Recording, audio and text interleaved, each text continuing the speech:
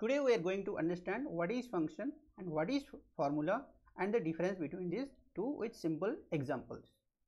So let's start, let's go to the Excel, let's type some numbers 150. So before typing the formula, let's jump into the differences.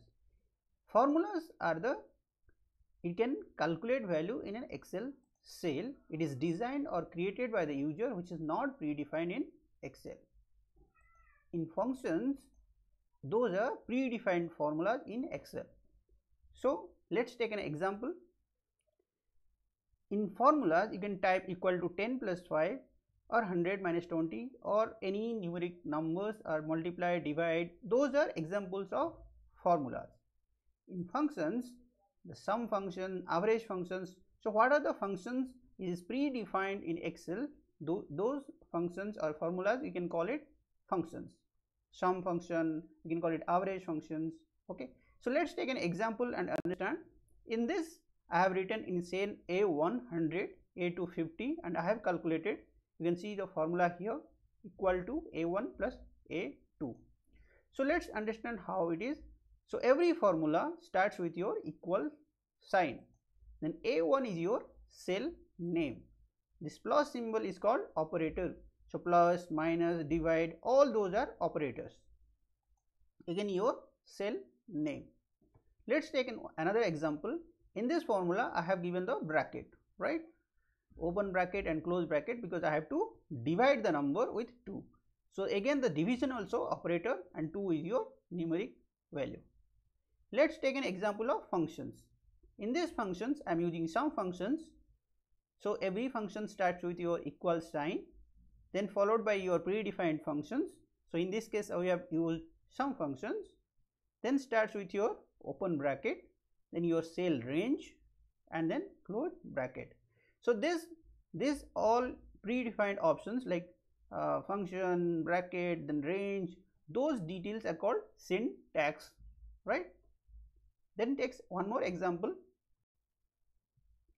In these functions I have used comma this comma to separate this a1 and a2. So, when you have inside the functions you have multiple operators or multiple cell reference range then you have to segregate these two with your separator. So, this comma is called your separator right. So, let us go to let us take an example and find it out. So, you can see here in formulas these are called your functions.